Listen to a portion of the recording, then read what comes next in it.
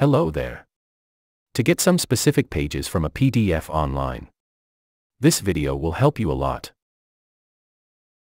On Google, search for I love PDF.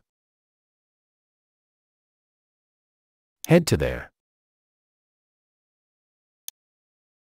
Come to Split PDF. Now select the PDF you want to get the specific pages from.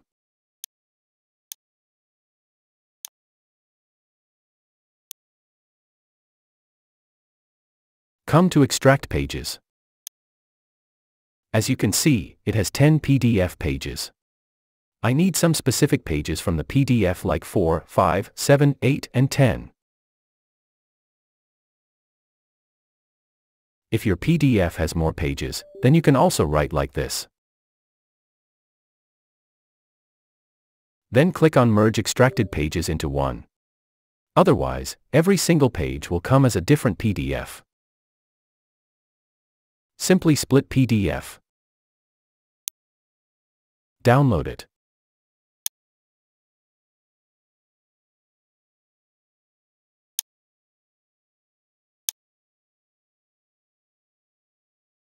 The PDF is this.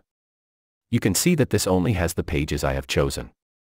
So, this is how you can simply use online tool to extract particular pages to make different PDF.